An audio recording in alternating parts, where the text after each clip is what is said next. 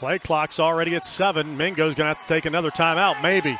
Play clock's at five. Now they run it. Here's a snap. Go. Throws over the middle. Pass intercepted. Here comes Winky on the return. Crosses the 20, 25. Winky to the 30, 35, 40, 45. He's got it to the 40 of Mingo. The 30, the 25, the 20, the 15, the 10, the 5. Touchdown, Winky. 95 yards on that interception return. Officially 97. And how about that for a turnaround?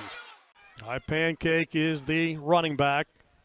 Indians have not attempted a pass. Mingo's coaches are yelling to watch the pass. Here's Devin, quarterback run. Devin, 45 50. Good night. 40, 30, 25 20, 15 10 5. That's a semifinal touchdown run for Devin Vandergriff. One play, 59 yard, and that is a good nighter.